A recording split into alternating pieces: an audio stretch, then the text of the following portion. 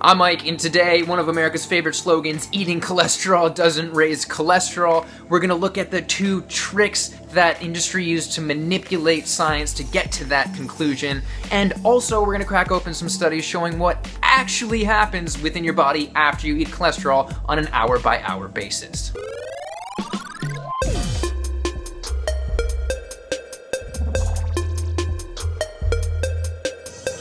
There seems to be a trend today in dietary advice that the healthier thing is the opposite of common sense. That fat doesn't make you fat, that being overweight is actually healthier, that meat doesn't cause cancer, and that eating more cholesterol doesn't raise cholesterol. And this idea about cholesterol in particular is plastered everywhere. It's got articles about it, there are books whose authors, when talking about heart attacks, leave such gems as Do you know a better way of dying?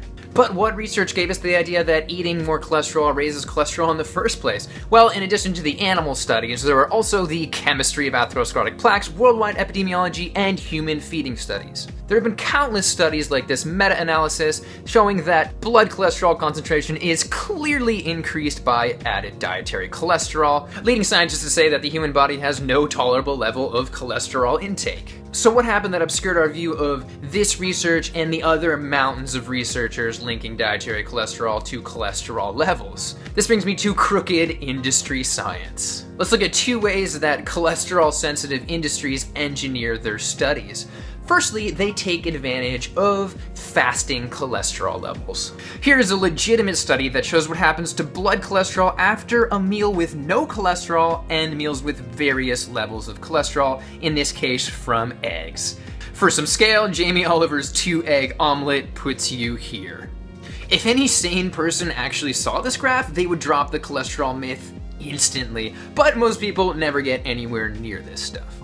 As you may have guessed, the egg industry was not pleased by these findings, so their angle, wait until cholesterol goes back down to fasting levels. From some distinguishably non-vegan reviewers of this egg research, fasting LDL cholesterol levels are determined mainly by cholesterol production in the liver overnight and have little to do with what the patient consumed the previous day. Fasting cholesterol is actually where this chart started and can be reached again after 11 or 12 hours of no eating. And that's where they grab their data. Sneaky little hobbits is. But that's not what's happening in reality. In reality, lunch happens, and then dinner happens. The danger of this is summed up by those non vegans, again, with, quote, dietary cholesterol increases cardiovascular risk, probably mainly because of the postprandial or after meal effects. For several hours after a high cholesterol meal, there is an increase in oxidative stress, vascular inflammation, and adverse effects on endothelial function or the lining of your arteries. This explains why a heavy meal can increase your chance of getting a heart attack by four times within two hours of eating. Nevertheless, these egg industry studies trickle down to nutritionists like Chris Kresser, leading them to say, quote, eating cholesterol isn't going to give you a heart attack. Let that sink in. It's also important to note that eating cholesterol specifically raises your LDL or bad cholesterol, as this feeding study shows. The study had everybody eat the same diet for two weeks, then they divided them into different diet groups. After four weeks, here's the raise in LDL or bad cholesterol for the high saturated fat, low cholesterol group, and add a few eggs worth of cholesterol, and it's about five times worse, showing that saturated fat and cholesterol kind of team up together to raise your bad cholesterol. The next industry trick is to take advantage of the cholesterol ceiling. From this meta analysis, here's a study showing the relationship between cholesterol eaten and how much cholesterol rises, highlighting that it depends on how much you already eat. Add three eggs worth of daily cholesterol to a diet of somebody like a vegan who eats no cholesterol, and boom, it shoots up dramatically but had an omelet for someone who has already been eating Jamie Oliver's bacon superfood diet every day, and you get a tiny reaction. So you can experiment on people who already have a high cholesterol intake, like the average American, and escape statistical significance. In other words, changes in serum or blood cholesterol would be expected to be minimal if cholesterol was added to a diet already rich in cholesterol. So when you're designing your egg study, look at people who are eating the standard American diet, and if you happen to get any people that are slightly healthy and see a raise in cholesterol, call them hyper responders and forget about them. Then stamp your study with the accurate but totally evil quote, these data indicate that the consumption of a high cholesterol diet does not negatively influence the atherogenicity of the LDL particle. Then you get a media shitstorm about how cholesterol is your best friend. This whole premise is very well illustrated by comparing the cancer risk of people that smoke between 20 and 30 years and the risk of people that smoke for over 30 years. No difference, because it's all horrible. It seems that we're simply studying a sick population. Quote, if exposure to a necessary agent is homogeneous within a population, then case, control, and cohort methods will fail to detect it.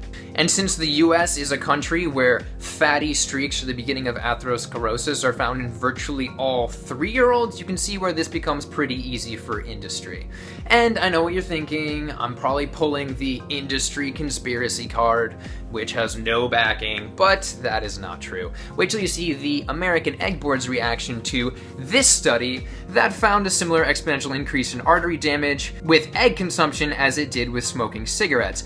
Two thirds as much artery blocking to be exact. American Egg Board emails were acquired through the Freedom of Information Act, exposing their efforts to combat this without letting the public know it was them by enlisting their quote, friends in the scientific community. When talking to those scientists' friends, they said, quote, we will certainly compensate you. But industry corruption is not all too surprising nowadays, so let's move on to the final piece of the puzzle, and that is ideal levels of bad cholesterol. If you've seen my videos, you know that ideal levels of bad cholesterol, as defined by paleo founders that are very anti-vegan, is between 50 and 70, and that ideal level of bad cholesterol is only seen in populations of people that don't consume any cholesterol, also known as vegans. Which should really be proof enough that dietary cholesterol increases cholesterol. In conclusion, anyone that tells you that dietary cholesterol does not raise cholesterol is completely insane or has just fallen for industry science. In the end, you can either cut out cholesterol and live a life like this and end up with ideal cholesterol, or keep eating cholesterol and roll the dice three times a day. So ditch animal products since they are the only source of dietary cholesterol, and if you have done that and gone on a plant-based diet and seen your cholesterol lower, feel free to make it known in the comments below. Also, if you haven't subscribed already, go ahead and do that. All right, thank you for watching.